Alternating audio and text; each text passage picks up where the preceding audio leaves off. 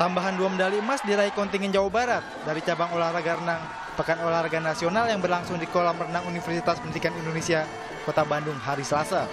Dari nomor 200 meter gaya kubu-kubu perorangan putra, medali emas disumbangkan Triadi Fauzi dengan catatan waktu 2 menit 0,24 detik. Catatan ini sekaligus memecahkan rekor PON atas nama Doni Utomo dengan 2 menit 2,81 detik yang diukir 2008 silam di PON Kalimantan Timur. Sementara, medali perak diraih Budiman Hadi Prakoso asal Jawa Tengah dan medali perunggu diraih atlet Jawa Timur Muhammad Hamgari. Uh, senang aja ke satu diskon saya, uh, saya dapat melebihi target saya pribadi.